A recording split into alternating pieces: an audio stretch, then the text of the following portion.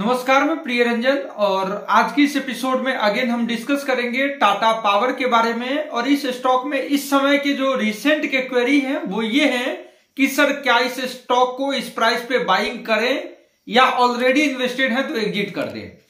और ये वही लोग पूछ रहे हैं कि बाइंग करें कि नहीं करें।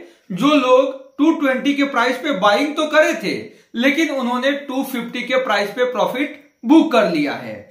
और ऐसे लोग जो एक्सपेक्ट कर रहे थे कि 180 120 तक के लेवल्स दिखेंगे, और ये वही लोग हैं जो बार बार मेरे कमेंट सेक्शन में आकर के कह रहे थे कि, सर, आप तो कई दिनों से कह रहे हो कि ये ट्रेंडिंग बनेगा, ये पागल घोड़े की तरह दौड़ेगा, लेकिन ऐसा कुछ दिखता नहीं है। और आज वही लोग अगेन पूछने आ रहे हैं कि, सर, इस स्टॉक में क्या करें?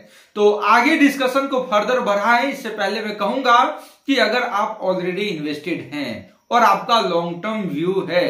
तो ऐसे स्टॉक्स को छोटे प्रॉफिट्स के लिए एग्जिट नहीं करेंगे। ये बड़ा स्टॉक है, इसके टारगेट भी बड़े होने चाहिए। अगर आपको लगता है कि इस समय आपको पैसे की ज़रूरत नहीं है, आप लॉन्ग टर्म होल्ड कर सकते हैं। तो यहाँ से मिनिमम टेन टाइम्स बहुत बड़ा टारगेट नहीं भी दूँगा तो near around two thousand plus के लेवल्स के लिए अगर आप next five to seven year hold करते हैं तो होल्ड करें। और इस बात को तो आप जानते ही होंगे कि बड़ा पैसा बाइंग और सेलिंग में नहीं बनता है बड़ा पैसा पैसेंसली होल्ड करने में बनता है। तो इस शेयर को श्योरली आपने होल्ड करना चाहिए। अब हम देखेंगे जो एनालिस्ट जो दिग्गज एनालिस्ट इस स्टॉक में 200, 120, 150 कह रहे थे वही एनालिस्ट अब इस स्टॉक को रिरेट कर रहे हैं।